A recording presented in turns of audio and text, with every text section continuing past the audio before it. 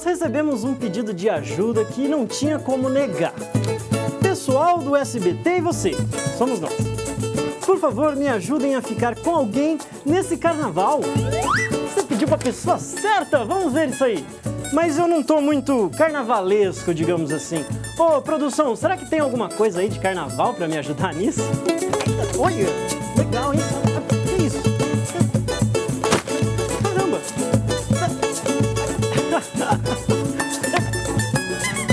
Melhorou. Peraí. Ah, agora sim eu tô... Agora sim eu tô pronto pro carnaval. Não, mas peraí, eu acho que essa máscara foi exagero da produção, viu? Olha, sinceramente. Vamos começar com as cantadas. E para testar o termômetro dessas cantadas, eu convidei aqui a nossa produtora, Dayana Dornelas. Tudo bem com você, Day? Tudo bem. Tá pronta para começar? Vamos embora. Então vamos. Gata, você não é escola de samba, mas eu vim aqui só pra te ver passar. Gata, você não é escola de samba, mas é nota 10.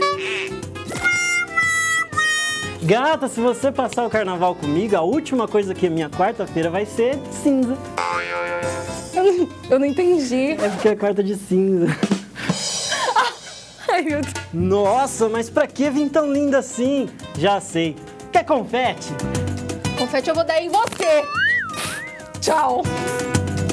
Gata, você tá fantasiada de minha namorada? Jamais. Jamais. Gata, será que eu posso tirar uma foto com você? Pode, claro. Só pra provar pros meus amigos que anjos existem.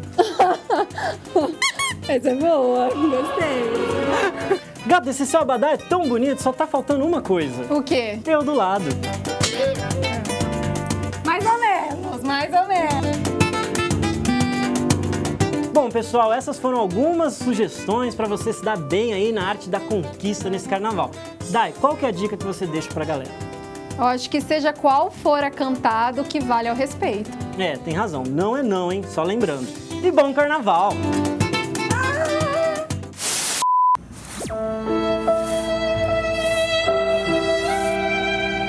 Isso a televisão não mostra.